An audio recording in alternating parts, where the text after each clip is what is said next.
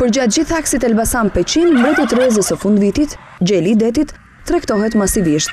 Unë punoj gjithë vitin, të shitet me 7.000 lek, me 6.000 lek, nuk ka lek.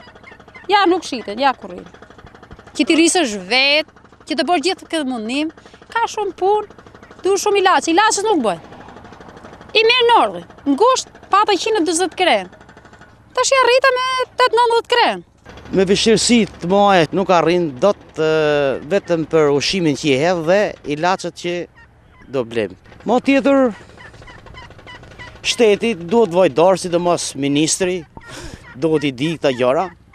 Domethënë vitin tjetër nuk do maj kaq shumë dot se nuk arrin dot. Ka shumë kosto të lartë.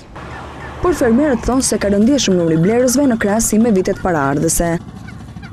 Nga viti në vit më keq po vjen. Në rast se vjet u shit dhe me 8, këtë vit po shkon me 6 e gjysmë 7. Kilja. Nuk kemi asnjë lloj fitimi. Se edhe qeveria nuk po vë dorë fare për subvencionin në bujqësi. Po s'ka pare më. Po s'ka pare do bjeri, s'ke gjë. Situatë e ngjashme është edhe në zonën e Fushëkrujës ku prej ditësh, fermerët qëndrojnë në pritje për të shitur shpendin më të kërkuar të fundvitit, gjelin e detit.